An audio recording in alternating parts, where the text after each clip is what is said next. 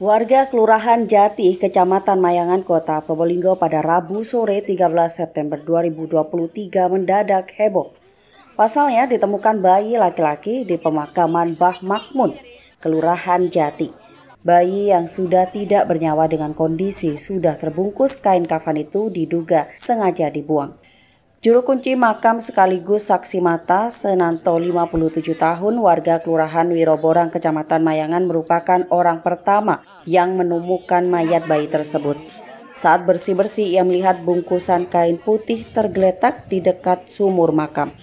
Senanto curiga lantas membuka bungkusan kain putih tersebut. Ternyata itu bayi lelaki yang dibungkus kain kafan. Senanto kemudian melapor ke ketua RT-nya. Senanto tidak mengetahui siapa orang tua bayi tersebut. Ia juga tidak mengetahui di mana lokasi bayi itu dilahirkan sebelumnya. Tadi itu saya hari betul kan tidak ada. Terus saya bersih-bersih di selatan mulai tadi itu. Terus dasar tuh mau ngop rokokan, mau ngopi dulu ya, mau uji. Kok ada mayat di situ. Hmm. Nah, pada saat menemukan itu bagaimana Pak jenengan, Pak? Enggak, saya di orang takut-takuti gitu. Kok, kok besar gitu. Tak buka gitu. Dari bola barat, kok tempat kaki gitu. Hmm. Sempat dibuka ya sama jenengan Iya. kain kafannya ya. Kok tempat kaki tak laleni mana terus saya laporan Pak RT. Ternyata pada saat dibuka itu apa Pak isinya, Pak? Kaki yang sebelah barat. bayi atau apa pak Ya, bayi. Bayi. Barusan banyak orang-orang itu tak buka, tak buka yang sebelah timur kepala. Nggak, bu- nggak sempat buka semua. Takut saya takut nempel tanganku.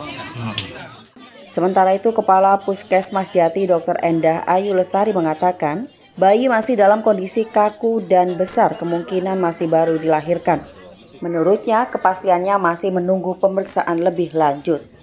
Eh, kondisinya eh, masih dalam keadaan kaku jadi kemungkinan masih baru baru dan perlu ada pemeriksaan lebih lanjut lagi Masih masih lemas ya.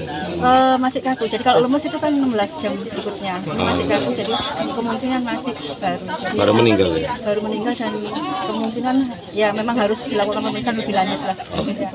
Sedangkan Kasar Sabara, Polres Probolinggo Kota AKP Ardi Bitakumala mengatakan, pihaknya bergegas ke lokasi setelah mendapat informasi adanya penemuan bayi tersebut. Polisi mendapati bayi tersebut terbungkus kain kafan dan handuk dengan kondisi masih terdapat ari-ari.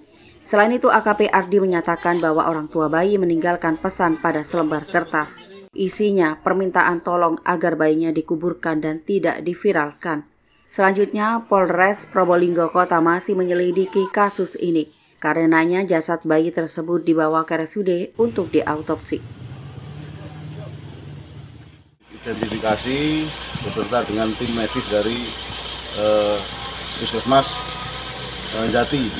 Kemudian setelah kita lakukan eh, pembukaan atau jasad bayi ini terbungkus rapi oleh kain kafan dan untuk memastikan kita membuka eh, bungkusan tersebut ternyata benar bayi laki-laki dengan kondisi hari-hari masih menempel di badan bayi. ada surat wasiatnya tadi ini ya? isinya apa itu Eh, surat wasiatnya ditemukan juga di bawah kait kafan eh, terkait dengan isinya tolong kuburkan anak saya dan jangan diviralkan.